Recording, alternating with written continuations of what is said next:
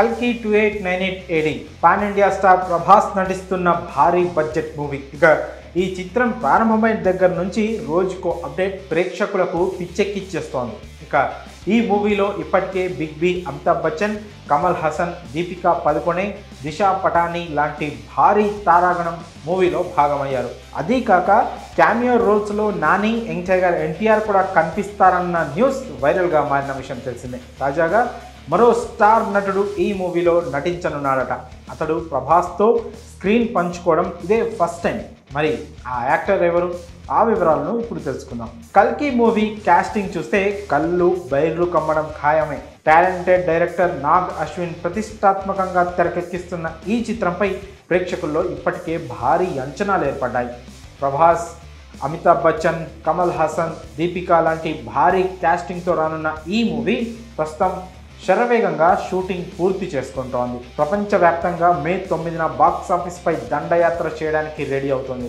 ఈ నేపథ్యంలో కల్కి సినిమాలో మరో స్టార్ యాక్టర్ యాడ్ అయ్యారన్న వార్త వైరల్గా మారింది. సీనియర్ యాక్టర్ రాజేంద్ర ప్రసాద్ కల్కీలో కీలక పాత్ర చేయబోతున్నట్లు సమాచారం. ఇందుకు సంబంధించి రాజేంద్ర ప్రసాదే హింట్ ఇచ్చాడు. కలియుగ పట్నం మూవీ టీజర్ లాంచ్ ఈవెంట్లో ప్రభాస్తో తొలిసారి నటించబోతున్నాను అని హింట్ ఇచ్చాడు రాజేంద్ర ప్రసాద్ దీంతో కలికిలో ఆయన కూడా కనిపించబోతున్నాడు అంటూ నెటిజన్లు సోషల్ మీడియా వేదికగా కామెంట్లు పెడుతున్నారు.